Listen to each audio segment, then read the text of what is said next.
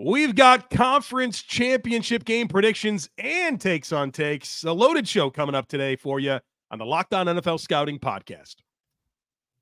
You are Locked On NFL Scouting with the Draft Dudes, your daily podcast for NFL and college football scouting. Part of the Locked On Podcast Network. Your team every day.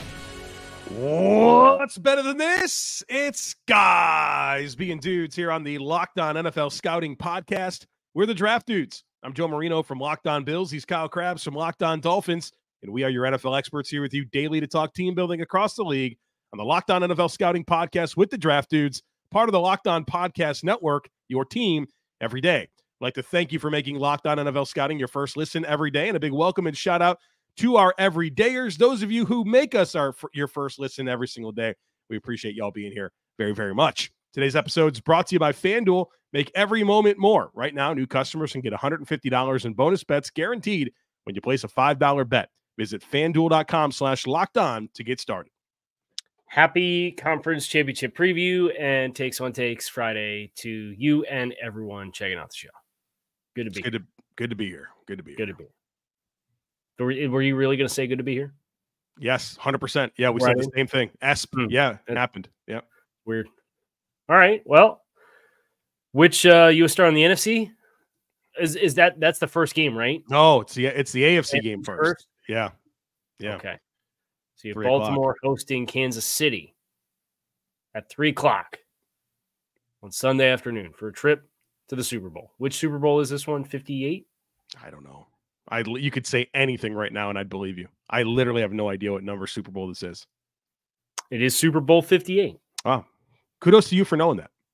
I was just seeing the the red and purple Roman numerals that had everybody freaking out in November for the conspiracy theory about the color of the Super Bowl logo and how it's lined up with the teams that have played the past few years. Yeah, the last two, right? We're potentially getting a third here. So yes. yeah. So if it's if it's scripted, then it's just Ravens 49ers will move on with our lives. But we'll see if I guess the Lions and, and Chiefs have something to say about that. I have a question for you. Do you know how to read Roman numerals? Yes. Because you, you could look at them and figure it out. Oh, good yes. for you. I have no idea. No idea what like, they mean. The like the 10 is uh the X, right? But anything. I have no idea. Anyone, yeah, no. XL that's a t-shirt size, Kyle. I don't I don't know what that means in terms of numbers. um so the thing about Roman numerals is, you know, the dash means one, and then you go up to three, and then it becomes a one with a V because the V is five, and you put the one before the V, that means you subtract it, and that means it's four. Yeah, I just I just do the regular numbers, you know. Seems yeah. crazily unnecessarily complicated. You're only saving yourself a few more pencil strokes and the you're, the you're writing it by hand. It's just also easier to con- to consume. Everybody can see a five and a four and see that's fifty four. Blame the Romans, man. I don't know what to tell you. They We've moved on. We've moved on from the Romans, but somehow this is the one thing in the world where we're continuing with using their numbers. Is the uh, Super Bowl? Is, this is a better hill to die on than the metric system versus us being the only ones stateside who use feet and pounds and all that. So uh, I'm with you. I agree. All right, Chiefs and Ravens. Let's let's make some picks here. Yeah, yeah. Um, I just it, it's really hard to bet against Patrick Mahomes, but at the same time, Baltimore at home with their defense playing as well as it is, and they the fact that Baltimore has the size and ability to run the ball offensively, and they have an explosive play element to them. I just think they're the more complete team. And as I reflect on them also being at home, I'm inclined to lean into Baltimore winning this football. Yeah, I really like Baltimore's defense in this game. Um, I think can rush the passer. I think they've got they got everything they need to match up in the back seven against yeah. KC. I mean, can Mahomes make magic and and make those plays? Sure, yeah, he can. I mean, he lit up the Bills with explosive plays last week, but I think Baltimore and their collective availability in their back seven and how they played this season, I, I just kind of trust it. And Kansas City's run defense stinks. Okay, it's it's been bad all season long, and Baltimore can attack that so well and sprinkle in their passing game. I don't think there's a like. I hate to feel like Mahomes is, is like a true underdog and he's going to have to really elevate, and, and certainly he can. But unless like they just lay an egg offensively, Baltimore, I think they win this game. What's the game total? I, I, I it could 24-17, something like that. I'll see what FanDuel has it as for the over under. Yeah. I just I I don't want to overlook Kansas City's defense respectively as well. They're uh, uh, number 2 obviously in scoring and yards this season. They've been terrific, but the one thing they can't do is stop the run. It's 44 and a half points. I take the oh, what I just said 24 to 17. I mean, it's kind of what I'm seeing. I'd probably take the under, but oh, it's playoff football, right? Like you feel like this is going to be what was that Super Bowl with with Cincinnati and and the Rams? That was 20 to 17, right? Was that the final? Something like that, yeah. Like that I could see us going that direction. Two good two kickers teams, here. Teams that can run the ball. Yep. Uh two good defenses. Although I, I think um, Baltimore just creates more matchup problems. I agree. But the other guys got Patrick Mahomes.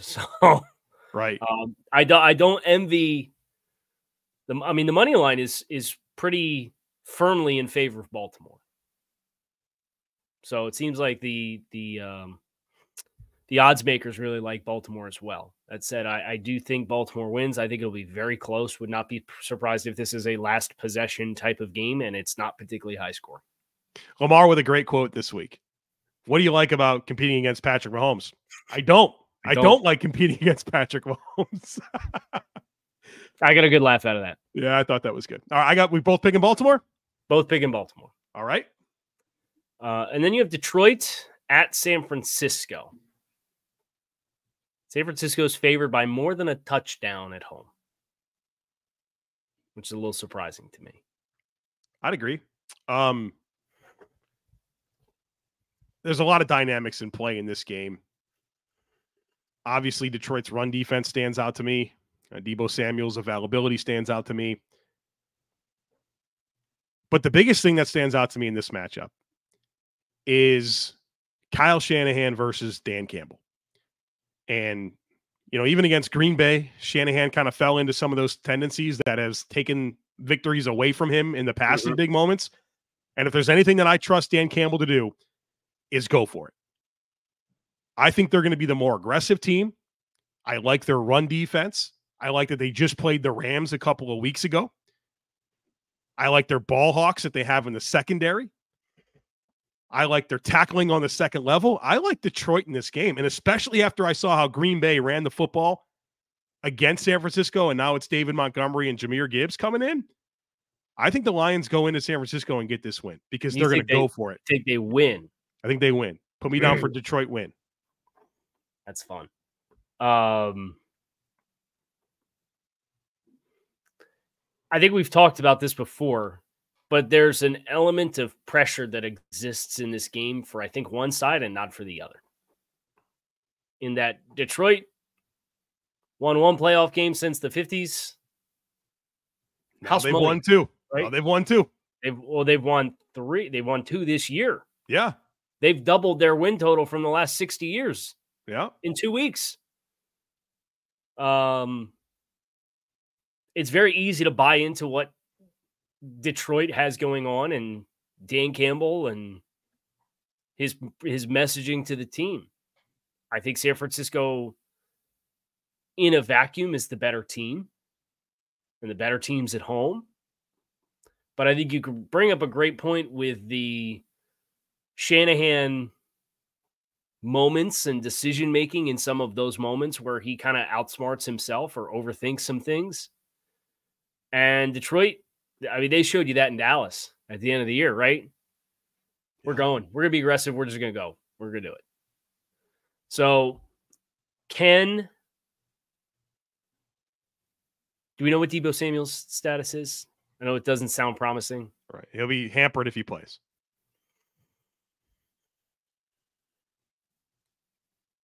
The weird thing is, you look at this game through the quarterback element, and Detroit probably has a leg up because Jared Goff's been here. There's an experience level with Goff in these stages that Brock got hurt in the NFC Championship game last year, didn't really get a chance to play or like really play, just hand the ball off in the second half. Yeah. I want to pick Detroit, but my gut still tells me San Francisco.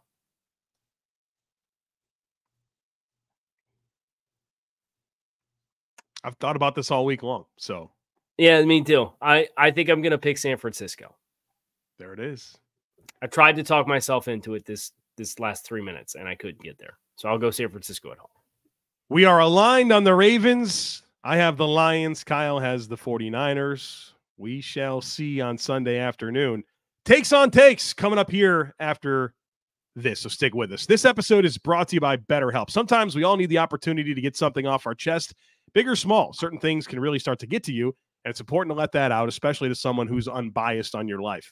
Therapy can be different for everyone. Most of us have bigger problems than our favorite sports team, and it's important to get things off our chest every once in a while. It's helpful for learning positive coping skills and how to set boundaries and empowers you to be the best version of yourself. It's not just for people who have experienced major trauma. So if you're thinking of starting therapy, give BetterHelp a try. It's entirely online, designed to be flexible and suited to your schedule. So visit betterhelp.com slash locked on to get 10% off your first month. That's betterhelp, H-E-L-P dot com slash locked on.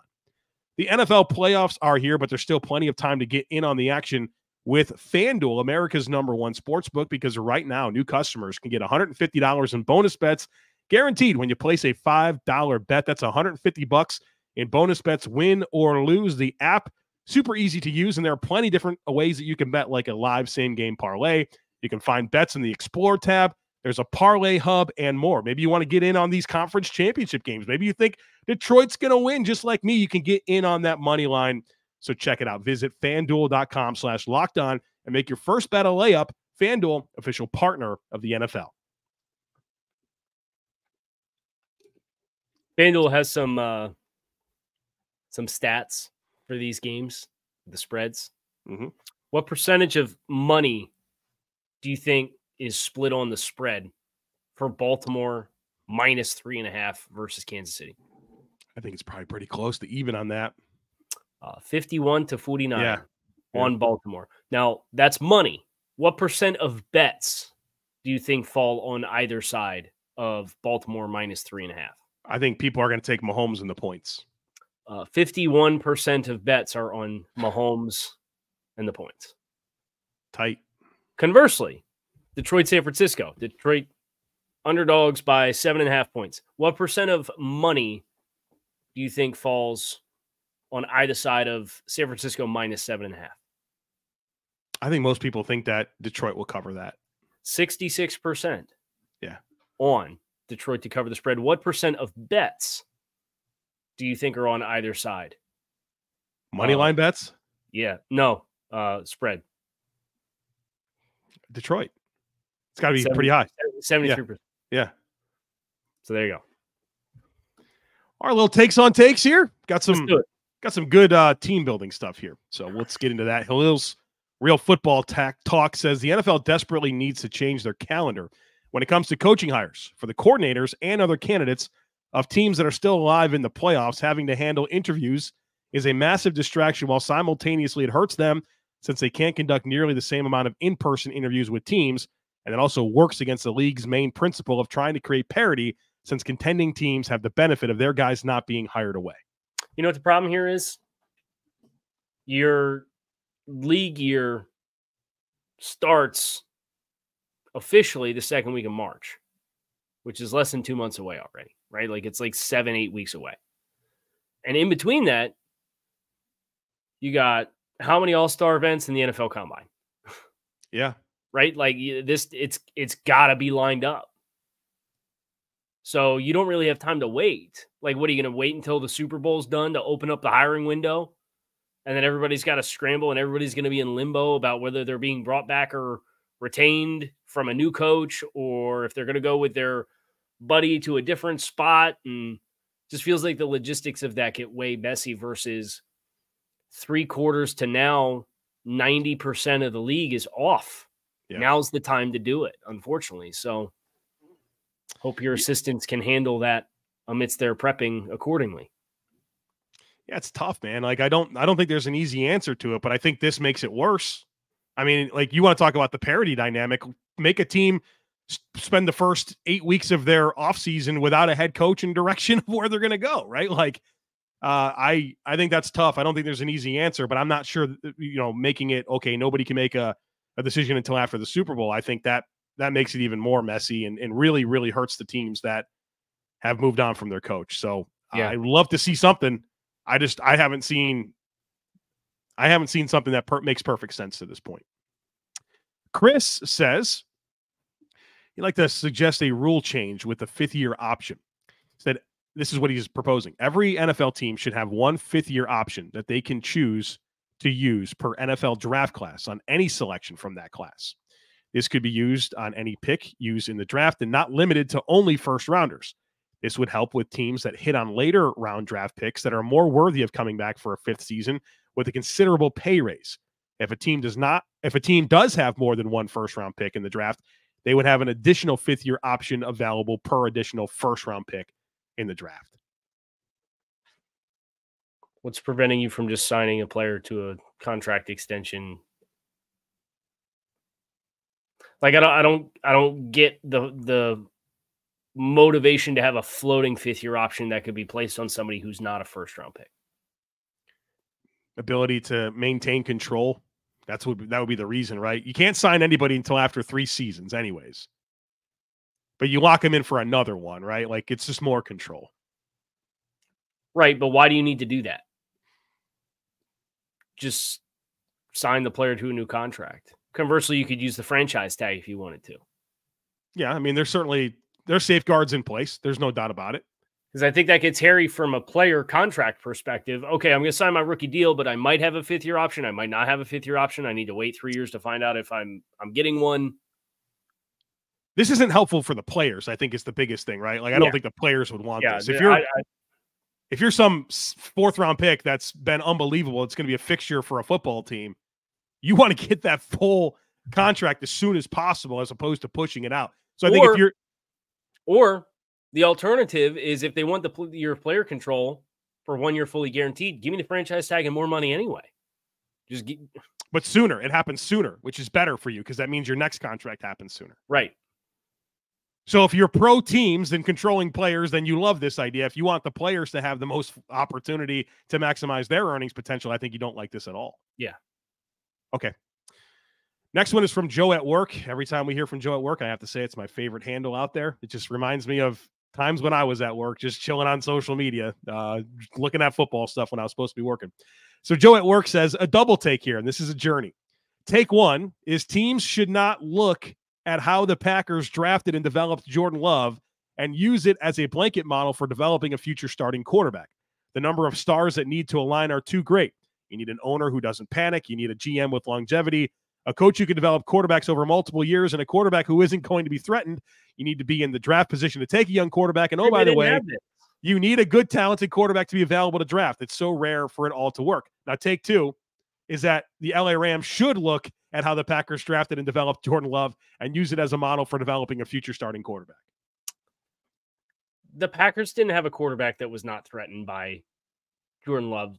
Aaron Rodgers made it abundantly clear how ticked off he was with the presence of Jordan Love when they made the pick and afterwards every time he was asked about the drafting and usage of that asset. So I, I guess I disagree that like the conditions have to be a certain kind of way. I think there are certain organizations that could get away with something like this, and other ones could not. Do you trust the Arizona Cardinals to do this? No. Right. Do you trust the Chicago Bears to do this? No. Do you trust Pitts, the Pittsburgh Steelers to do something like this? Potentially. You know who the stable organizations are across the league and who the stable organizations are not. Is it so, that extremely different than what happened with Jalen Hurts, other than Jalen Hurts fell into the 50s for Philadelphia? Yeah, I, I, so you're saying you agree with it that they should not look at how the Packers drafted and developed Jordan Love as a blanket model for developing a future. I think certain teams can. Right. But certain teams have no business thinking having any kind of audacity that they would have a three year runway to use a first round pick on a quarterback to never play. Yeah, I, I circumstantially, I just don't know that it, it really works out anyways. Because, like you mentioned with Aaron Rodgers, the the bottom line is, yeah, he was pissed off about it, but then he played at such a high level that it didn't matter, right? Like he he was going to continue to have that opportunity. What quarterback is going to be able to respond like that in their, eh, you know, in the twilight of their career? Nah, probably probably just about zero. Right. So I think your best case scenario, if you want it, like if you're trying to pitch the patient path, I, I think you're looking at maybe one year incubation, and that's about it. I don't think I don't think it could be this long. But for the Rams, you digging we'll this? See how, we'll see how Stafford holds up physically, but yeah, I think there's they should start thinking about it. A clear commitment from Les Snead to see see this kind of thing through. The question is, are you going to get a toolsy, talented passer that falls into your lap with with where you're drafting to do this as a playoff team this year? Probably not. Yeah. But Les Snead's been through the highs and lows and has plenty of leash because they won a Super Bowl. So, like, yeah, I, th- I think that's the kind of executive and brain trust that that would have the runway to do something like this. I agree.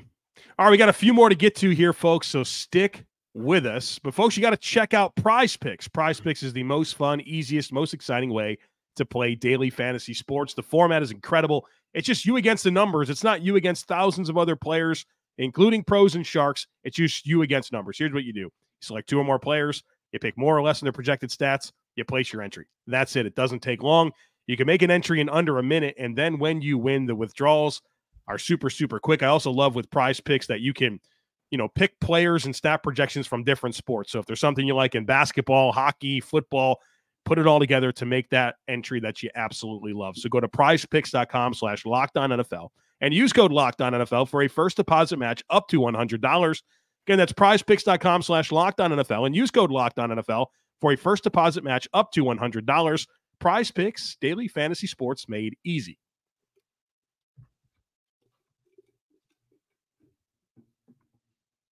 Give me a take and I got something for you. Okay. Uh let this one. KST, bunch of numbers, long, long Okay. YouTube name. Okay.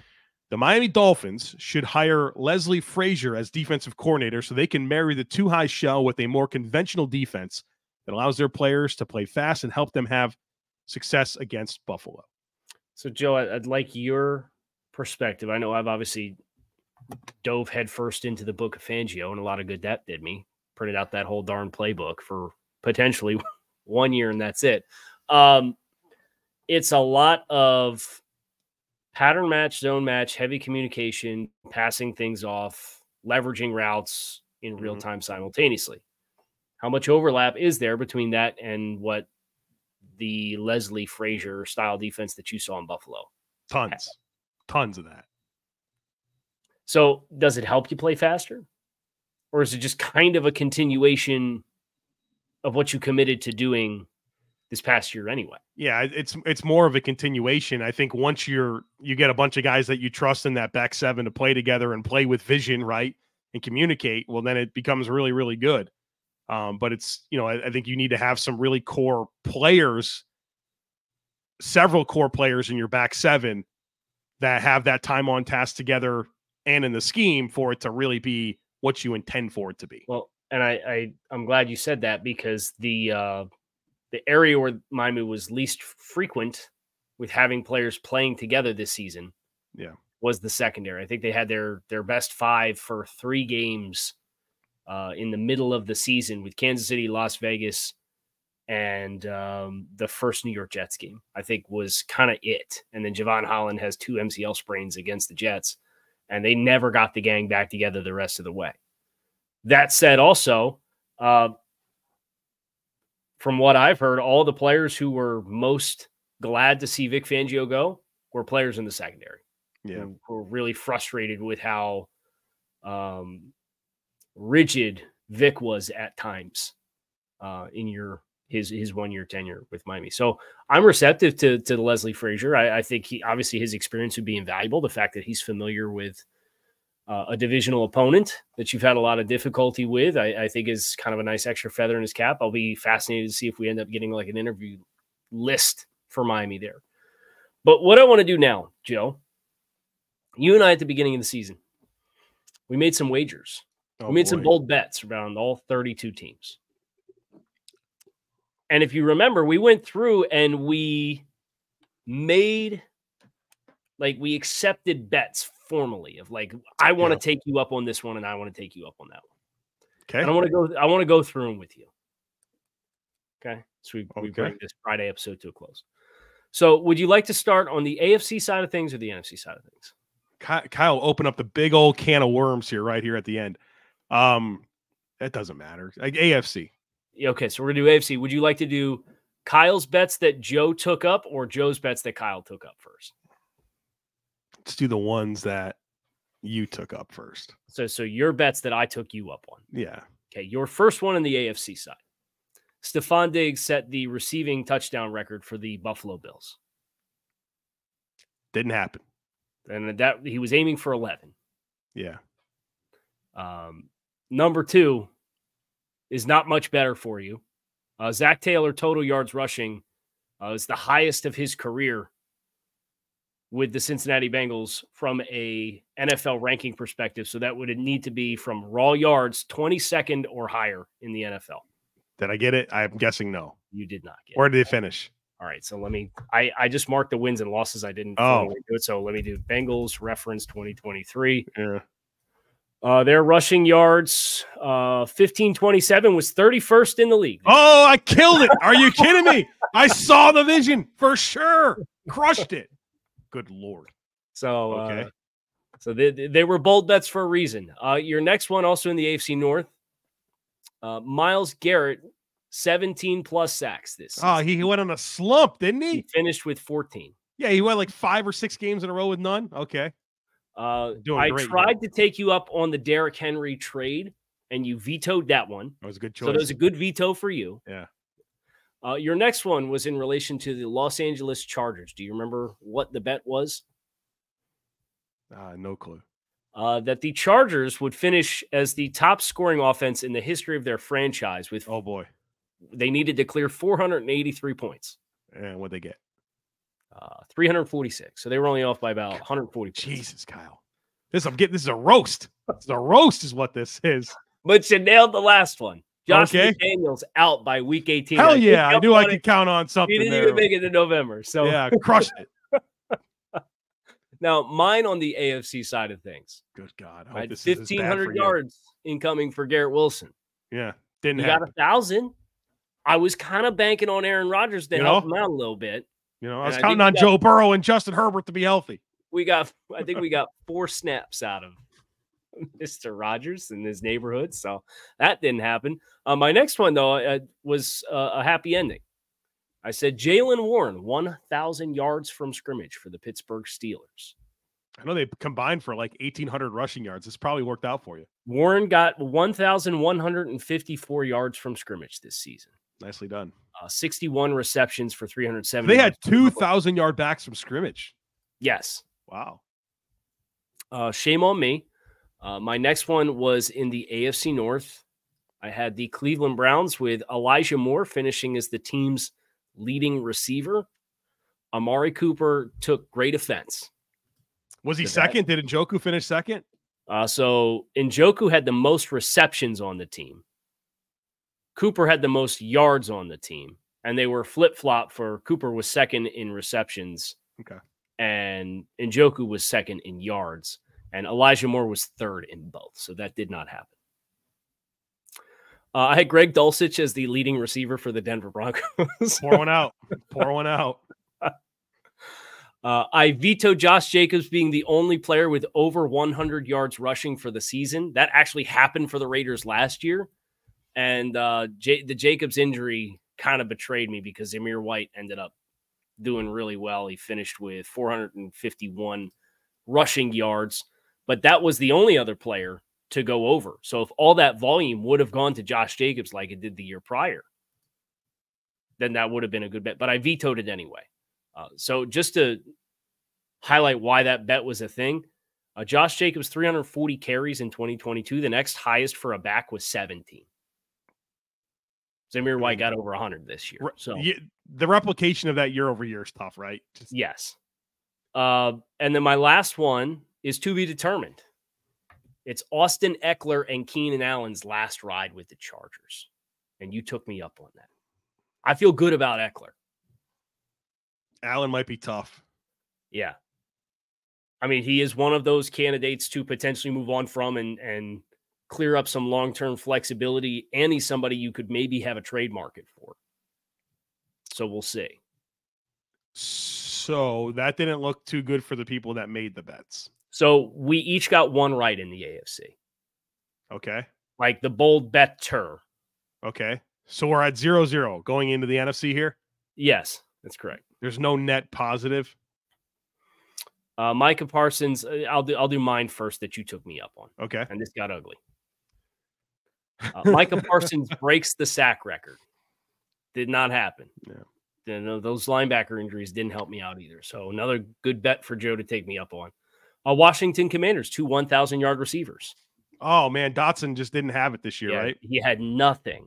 And all that volume for throwing the ball in Washington, too. Like the Right. process I thought was pretty good. We just didn't get the results. They finished um, first in the league of pass attempts, 636 pass attempts. Oh god. What did they finish in yards? Uh, yardage was 18th. Not a good spot to be. Well, you Not- know, Sam Howell gets sacked 18,000 times. Not good. Uh, Terry McLaurin, 1,002. Jahan Dotson, 518. Uh, Curtis Samuel, 613. Yeah. Kind of really revived himself. Contract year, Curtis Samuel. Kurt, contract year, Curtis Samuel. You tried to take me up on Fields doubles his career passing yards in one season. I vetoed that. It's a good eh, veto. Didn't Good happen. Veto. Good Didn't veto. JSN tops either Tyler Lockett or DK DK Metcalf in receiving production. That did not happen thanks to a slow start. So you you got me there. But Okay. does Puka Nacua wide receiver two count? Yeah, you, yeah, even though get- he was wide receiver one. Yeah, you got you got it. Okay, got it. so that, that was the, the I got a bold bet on each side. So I, I I took I took that one and you got it. I got it. Yeah, so I got two total for my bold bets that you Okay. took me up on on this. Okay. Okay. Uh, Joe, your first NFC one that I took you up on was the Minnesota Vikings. Yeah, I had a I was close. I, this was not bad. You This were really bad. close. Less than 13 wins, positive point differential. So they had half of the wins that they did last I could have never Right. imagined the quarterback carousel. They were minus 18 Gosh, in man. point differential, and they lost their last four games. Good then- lord. And they lost their last four games by three points, six points, 23 points, and 10 points. I was close. Just the Green Bay game alone right. in week 17 cost you this bet. I'm okay with it. Uh, Miles Sanders. Oh Remember no. what your Yeah, Miles 50, 50 catches. They Yeah. Frank. Reich coming out talking Freaking- about we want to feed you the ball. He even Uh, said he wanted 50 catches. That was part of like a sound bit that came out over the summer. He got halfway there. He got 27 this season. So Miles Sanders, that uh that contract's not looking great for Carolina. I don't know that they can get out of it this year without No. a bunch of dead cap either. I might do it though. Uh, you had the Saints winning the South by at least one game, clearing in the standings. Did not happen. And I know both of us were particularly low on Tampa Bay. So did they finish with the league's worst rushing offense again? Tampa? Yeah. It- well, there's one spot below Cincinnati, so They were rushing 3.4 yards per carry and 1509 yards. So that was that. So you didn't take me up on that one, but I did get that one as a bet. Bold prediction for, for Tampa. Bay. saw the path. Saw the path that. path was here. Uh, and then the last one in the NFC that you had was the LA Rams would be bottom five in sacks as a team. Okay. How do we do? Kobie Turner Oh, who would have saw it coming? Mid round pick to coming in Right. with like near 10 sacks. Right. So from a sacks perspective, where is it at? Uh, let's see. The Rams finished with 41 sacks. The teams that were worse than the Rams with sacks this season were the Carolina Panthers with 27, Oh god. 27 27. the Chicago Bears with 30. Thank God we traded for Montez Sweater. We might have Yeah. had 10. Well, yeah, right, right. The Arizona Cardinals with 33. The Giants and Saints each had 34. so there's so your that- bottom five. Okay. You also had the New England Patriots with 36, the Injuries. Washington Commanders with 39, and they Traded traded all the their pass players. rushers at the trade deadline, and the Jacksonville Jaguars with Oh. 40. So the Good Rams Lord. finished ninth. Ninth And lowest. didn't Jacksonville get? They had two double-digit t- sack guys. Jacksonville Yeah, Walker and and Allen both got it right. Did Walker get double digit? Yeah, I'm pretty sure he did. he did. Yeah, refer- Yeah. Pro Football Reference has him at 10 and Josh Allen at 17 and a half. Roy Robertson Harris, the next highest with three and a half. K'Lavon Chaisson and Foye Oluokun, the only two that got more than one. So so two double-digit sack guys, including one with 17, and you're in the Bottom bottom, ten. Bottom, Bottom eight. of the NFL. It's you're you're eighth worst in the NFL. okay, okay. So, uh, of the bold predictions, we obviously have more bold predictions that we made, but those are the ones that each one of us felt really compelled to like take each other up on, and uh, we collectively won three of the bets we took up on each other. So what does that mean? Does is there? No, it's. I mean, we could run it. You won the pick 'em, so I mean, there's there's not like there's a big lead that somebody's like, oh, I dominated this year's stuff. It was close, right? Yeah, Really close. I won the pick 'em by like a game, and A if we're- we're, I'm still only a game up, and Yeah. it, it could be tied going into the Super Bowl if the Oh Lions Lord, don't and then we'll just have to would have to pick different on principle if that's the case. Well, it's going to be tough to not pick the AFC team, regardless. I'll be honest with you. Correct. Yeah. Well. I I could see San Francisco. I could see myself talking into San Francisco if they played Kansas City, but I don't know that I would. oh, really? If Baltimore if Baltimore advances, I I think I'd pick Baltimore no matter what. Yeah, I, I'm picking the AFC team. Baltimore beat Detroit by 32 points this season already. Yeah, I'm picking the AFC team for sure, for sure, for sure. So that um it's kind of a walkthrough at the beginning of the year, our our bowl bets that we took each other up on, which is kind of a nice rewind as we we get ready for our last weekend of multiple games before the Super Bowl. We got a lot of great stuff coming, so we hope you guys will uh, take that journey with us. Uh, I'm Kyle Crabbs, he's Joe Marino. You can find us on YouTube or wherever you listen to your favorite podcast. Make it a great rest of your day. But we are out of here and we'll talk to you again on Monday.